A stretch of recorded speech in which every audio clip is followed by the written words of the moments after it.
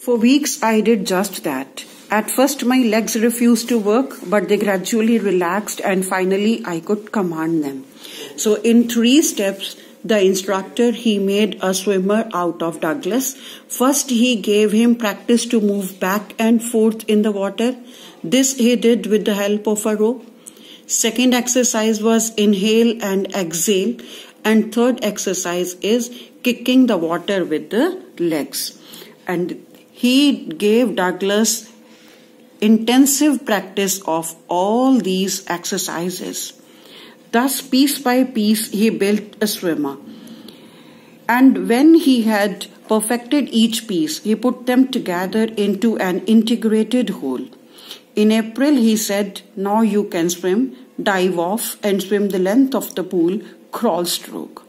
So Douglas started with his training in the month of October and it finished in the month of April. In April, the instructor said, Now you can swim, dive off, and swim the length of the pool. Go for crawl stroke. I did. The instructor was finished, but I was not finished. Now, what does this phrase mean? The instructor was finished, but I was not finished.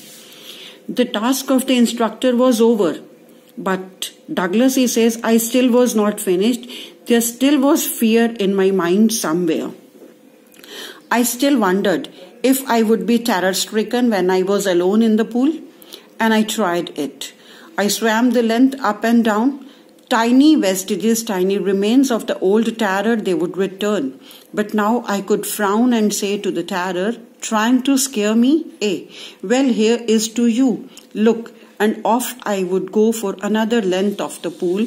This went on until July. But I was still not satisfied.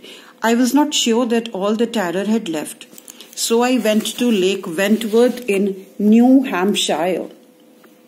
I dived off a dock at Triggs Island and swam two miles across the lake to Stamp Act Island. I swam the crawl, breaststroke, side stroke, and the breaststroke, and the backstroke. Only once did the terror return, when I was in the middle of the lake. I put my face under and saw nothing but bottomless water. The old sensation, it returned in miniature. So once again, the old sensation of dying, it came back. This time I laughed and said, Well, Mr. Terror, what do you think you can do to me? The terror, it fled and I swam on.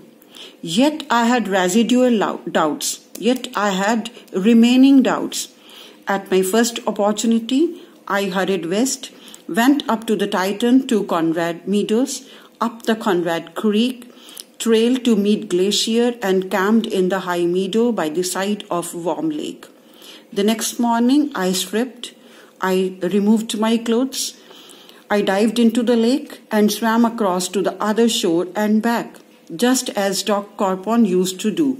And this time I shouted with joy, and Gilbert Peak, it returned the echo finally i had conquered my fear of water. My fear of water was completely gone. Now the experience it had a deep meaning for me as only those who have known stark terror and conquered it can appreciate. So what did the experience it teach me? I learned that in death there is peace. There is terror only in the fear of death as Roosevelt knew when he said, all we have to fear is fear itself. So the larger meaning, the deeper meaning that Douglas he got from his misadventure was that in death there is peace. There is terror only in the fear of death.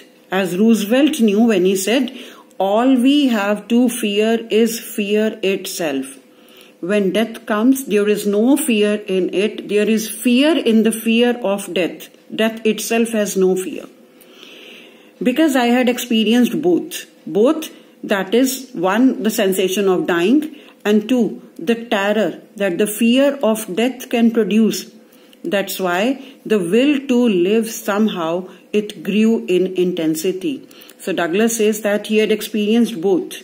Both is the sensation of dying and the terror that the fear of death can produce. So the will to live, the will to survive, it grew in intensity. And at last I felt released. I was free to walk the trails and climb the peaks and to brush aside fear.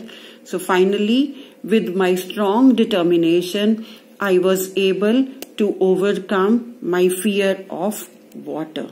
Thank you.